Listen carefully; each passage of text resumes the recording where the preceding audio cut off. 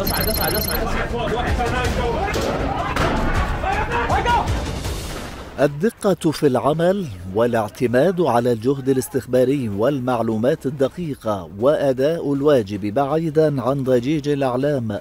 صفات وضعت جهاز الأمن الوطني منذ سنوات عدة كواحد من بين أهم الأجهزة الأمنية في البلاد.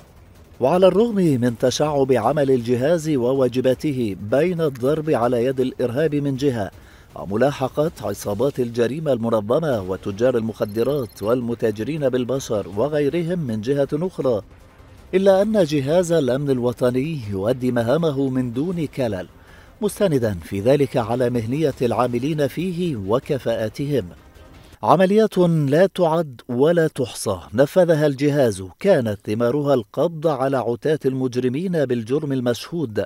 وضبط كميات هائلة من المواد المخدرة والعملة المزيفة وغيرها. لكن آخر عملية للجهاز كانت إطاحة بعصابة للاتجار بالبشر.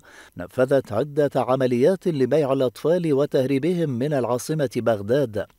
حيث ألقى الجهاز القبض على امرأتين متلبستين بالجرم المشهود أثناء استلامهن المبلغ المالي المطلوب ثمنا لبيع طفلة حديثة الولادة بلا وازع من ضمير أو إنسانية. هذه العملية إلى جانب سابقاتها تأتي في إطار جهود الأمن الوطني الرامية إلى الحفاظ على سلامة الوطن والمواطن والضرب بيد من حديد على عصابات الإرهاب والجريمة.